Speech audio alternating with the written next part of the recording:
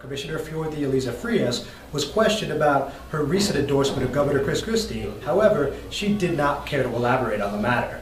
Uh, Mayor, I would like to ask uh, Commissioner Frias, is the, the report that was on Hudson County TV, is that a correct report about endorsing our current governor? I- May I answer? Did you read it?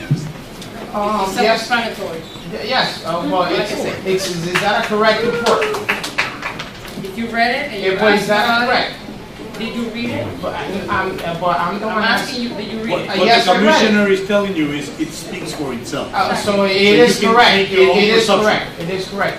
You know, and, and basically, you know, as, as a West New resident, and, you know, I, I kind of I find it, you know, and this is not about, you know, being a Republican or a Democrat. I, I don't really, you know, if you know the history of what Christie have done, hey, I don't think it's beneficial for our town.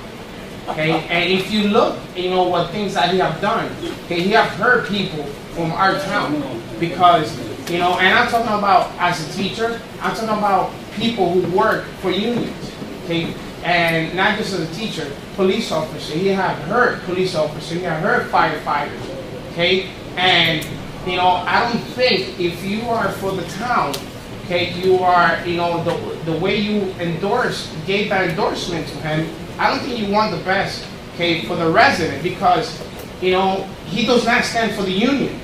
Okay, he's against the union. So if you're endorsing somebody that, you know, it's against the union, you know, it's an oxymoron right now. So I just want to voice that, and, know, I respect your decision, your endorsement, but at the same time, it is an oxymoron, and I just don't understand why would you do something like that. I'm John Heinis with Hudson County TV. For more information, log on to hudsoncountytv.com.